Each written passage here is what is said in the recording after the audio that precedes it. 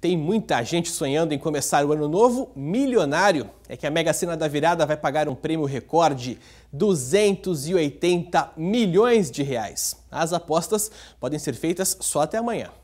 Dá para fazer tanta coisa com 280 milhões de reais. Casa, carro, dinheiro na conta, muita coisa. Comprar um citinho e viver feliz.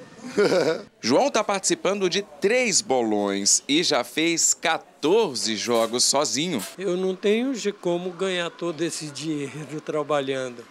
Uma que eu já estou velho, estou aposentado, entendeu? Então só arriscando. Marcos fez apenas um jogo e tem muita gente que ganha sim. E vai que. Eu vou arriscar aqui uma, uma fezinha só, tá? Uma só. Só.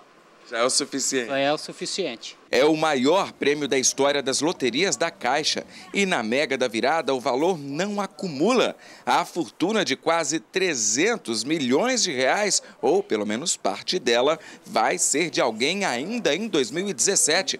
O sorteio está marcado para 8 da noite do dia 31. Em Araçatuba, interior de São Paulo, tem muita gente com os dedos cruzados desde já. As filas tomam conta das casas lotéricas e a cidade é pé quente. Nos últimos 10 anos, 11 pessoas já deixaram essa agência da Caixa no centro de Araçatuba com a conta bancária recheada. Entre os ganhadores da Loteria da Caixa na cidade, dois já levaram prêmio superior a um milhão de reais. E dessa vez, a sorte está lançada novamente com a Mega Sena da Virada. É bom não deixar para a última hora. Correto. A gente até pede, né? para não deixar para a última hora, porque as apostas vão encerrar no sábado às 16 horas mas quem puder antecipar as apostas sempre é bom. A Mega Sena da Virada é responsável pela maior fatia de rendimento das loterias da Caixa. Em 2016, os 114 concursos arrecadaram cerca de 4 bilhões de reais. Só a Mega da Virada arrecadou sozinha mais de 620 milhões de reais com 170 milhões de apostas.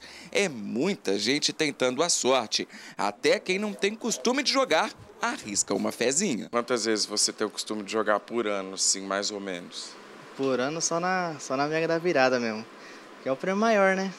É o que, é o que conta, né? E todo esse dinheiro aplicado na poupança pode render em média 40 mil reais por dia. É muito dinheiro, né?